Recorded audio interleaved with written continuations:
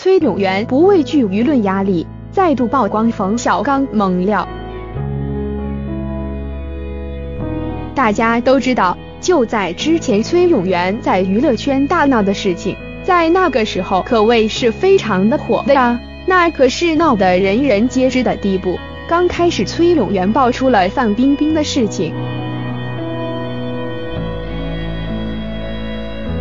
但是就在这件事即将要平息的时候，崔永元就开始跟冯小刚及其刘震云等人开始了撕票大战。到最后的时候，怕事情被闹大，所以到后来就不了了之了。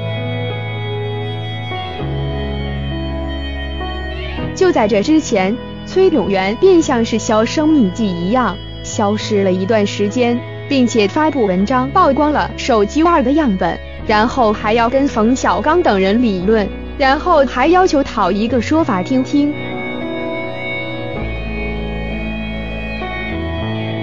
但是却没有受到任何的回应，从而让网友们认为就是为了蹭蹭热度而已，为了自己在微博上或者是生活上的知名度，故意这么做，粉丝啊，人气啊，直接呈直线下滑。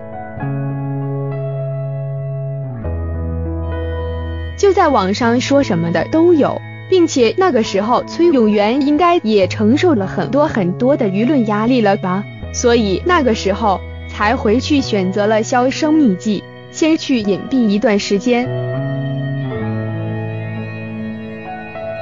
然而就在最近这些日子，崔永元又是直接稳稳的站了出来，这次矛头直接对准了冯小刚，并且丝毫就没有手下留情。就在手机二即将要开始拍摄的时候，应该过一段时间就能够和我们再一次相见面了。然后就在这个时候，崔永元直接发布了文章，直接指向冯小刚，然后直接爆出冯小刚的家中挂着一幅名画，这幅名画的价值可以说价值两千多万。就当刘震云刚刚开始做导演的时候，一部剧最多就只能拿到八万左右的酬劳。然后冯小刚和刘震云可以说是非常密切的合作伙伴了，所以也是两个人一起打拼才会有如今的结果。怎么会在家中放着这么贵重的东西呢？所以，观众们现在终于知道为什么这些导演谁喝汤谁吃肉了吧？有些网友还表示，不是都已经和解了吗？为什么崔永元还要这样子，还要这样子的针锋相对？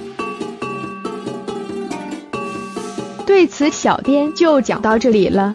小编觉得崔永元这样做是有他的道理的，毕竟不会是无缘无故的。为什么会这样做？有可能只有崔永元自己知道，或者说是只有崔永元和冯小刚两个人知道。毕竟娱乐圈水太深，